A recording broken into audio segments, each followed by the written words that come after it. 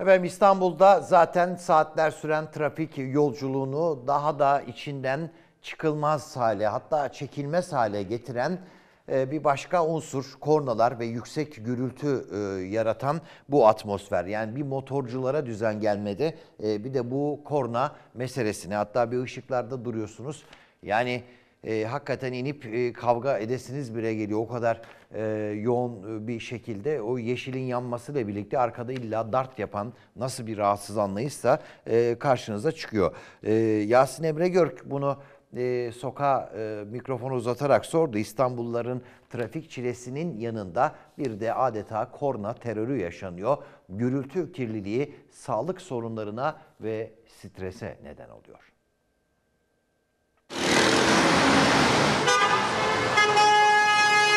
Gereksiz korna çalınmasın kesinlikle.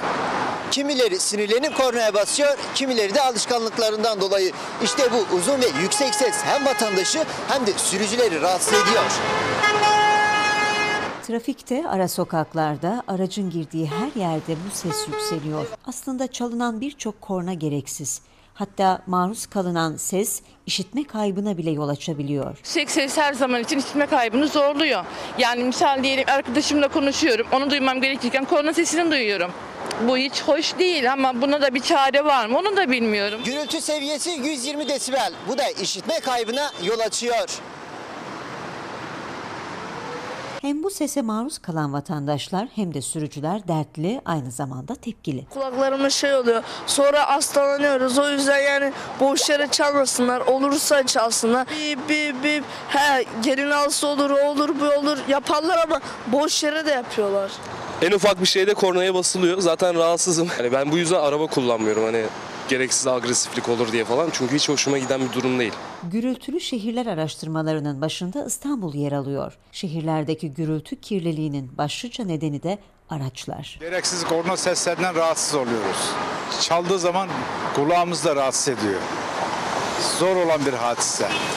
Yani kişilerin muhabbet özen göstermesi lazım korna çalarken. Çok önemliyse çalınsın korna. Gereksiz korna çalınmasın kesinlikle.